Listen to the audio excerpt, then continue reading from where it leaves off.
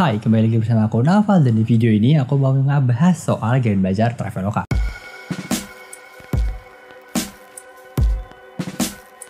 Buat yang belum tahu, Grand Bazar adalah salah satu promo yang sering banget diselenggarakan oleh Traveloka.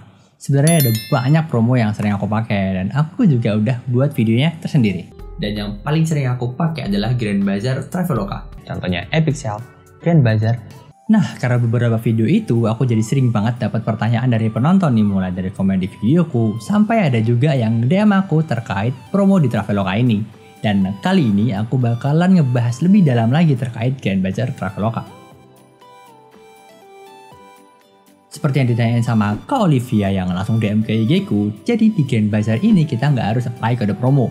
Kita tinggal masuk aja ke menu hotel, lalu scroll ke bawah sampai ketemu Grand Bazar Lalu pilih bus yang tersedia, terus tinggal pilih aja hotelnya. Oh iya, jangan lupa juga buat atur tanggalnya ya. Takutnya nanti malah salah tanggal, nggak jadi staycation deh. Untuk waktu menginapnya sendiri fleksibel ya, jadi kalian bisa atur waktu menginap sesuka kalian, mau sekarang, minggu depan, ataupun bulan depan itu bisa. Tapi, satu tips dari aku dan sama seperti yang ditanyain sama Meli, untuk waktu menginapnya biar dapat diskon yang cukup gede itu paling nggak minimal 2 minggu dari kalian berburu diskonnya. Nih aku coba bandingin ya. Ini adalah kalau kalian menginap dekat-dekat ini dan ini harga kalau kalian menginap lebih dari 2 minggu saat kalian berburu diskonnya. Di promo Grand Bazaar ini emang kita nggak usah apply kode promo, tapi kalian bisa lihat di sini kalau kalian harus menunggu sampai orang yang ada di booth ini mencapai minimal visitor terlebih dahulu biar dapat promo terbesarnya. Nah, kalau misalnya visitornya kurang, kalian bisa nih buat ajak teman kalian buat masuk ke booth ini dengan cara klik di bagian ini dan share linknya ke teman kalian.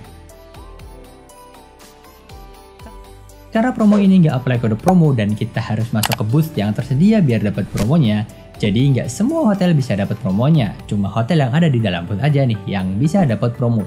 Tipe kamarnya pun bisa pilih sesuai tipe kamar yang tersedia di hotel pilihan kalian. Terakhir nih, untuk total kamar yang kalian pesan itu bisa lebih dari satu ya. Jadi ya kalian bisa pesan satu, dua, atau mungkin mau diborong semuanya pun bisa. Yang penting di hotel tersebut kamarnya masih tersedia. Oke, itu tadi sedikit penjelasanku tentang promo Grand Bazar dari Traveloka dan emang promo itu yang paling sering aku pakai. Karena sejauh ini promo itu yang ngasih diskon paling gede. Aku pernah dapat kamar hotel dari harga 576.000 jadi 219.000, terus ada juga dari harga 198.000 jadi 99.000 aja. Kalau kalian ada pertanyaan tentang penginapan ataupun tempat wisata, kalian bisa tanyakan via media sosial aku ya. Untuk linknya aku taruh di deskripsi. Oke, sekian dari aku. See ya!